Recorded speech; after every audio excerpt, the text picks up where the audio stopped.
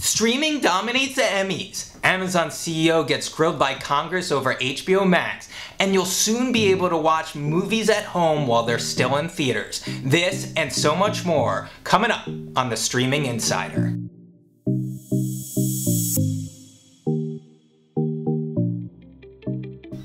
Up streamers, it's Jason from The Streamable and every week we bring you behind the scenes of the biggest news in streaming. And this week there was a major shakeup in how you'll be able to stream movies at home. Remember a few months ago this pandemic thing happened? Well movie theaters shut down and movie studios were forced to try something new. So they started releasing movies direct to consumer. And one of the first ones that they did was Trolls World Tour. Universal's movie did about a $100 million in their first three weeks. And that led to NBC Universal's Jeff Shell to say that this is gonna be a way going forward. And AMC, one of the largest theater chains, CEO Adam Aron was not happy.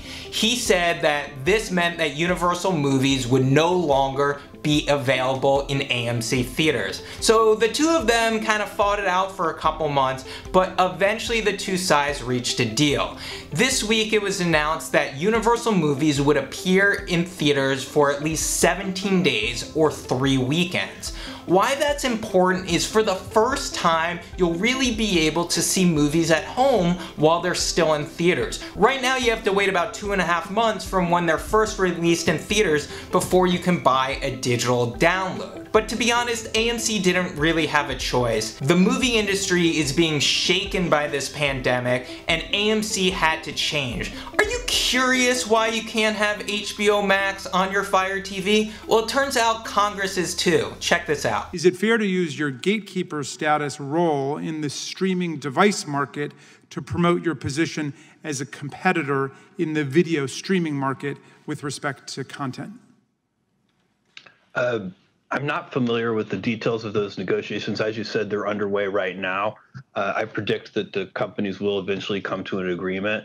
And I think this is kind of uh, two large companies negotiating agreements, kind of normal case of right. commerce. But it, so on the plus side, Amazon CEO says that he predicts that they will reach a deal, but he doesn't really know why it's not on Fire TV devices. But in the meantime, HBO Go and HBO Now were supposed to leave Fire TV devices today, but the two sides have reached a deal to at least keep HBO Now on the platform, which will be rebranded as HBO. This also affects Roku, where HBO Now will now be the HBO app. But what does this mean for people who previously used HBO Go? Well, it's not that simple, but good news, we found a trick where you can actually sign up for HBO Max on another platform and use your credentials to log into HBO Now. We have full details in the description below, so you can do it really easily.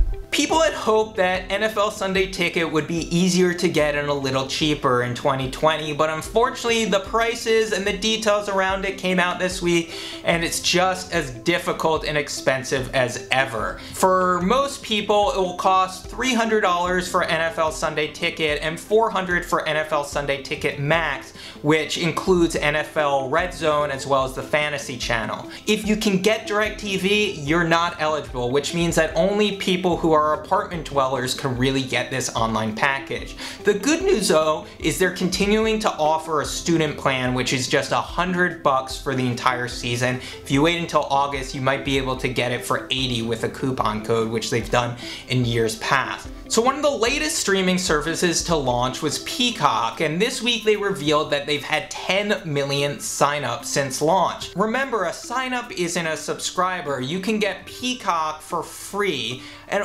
also Peacock Premium is free for Xfinity and Cox customers. So while 10 million is a good start, especially when you consider Fire TV and Roku, it will be interesting when they actually reveal their paid subscribers. We had a surprise streaming launch this week as Viacom CBS relaunched CBS All Access.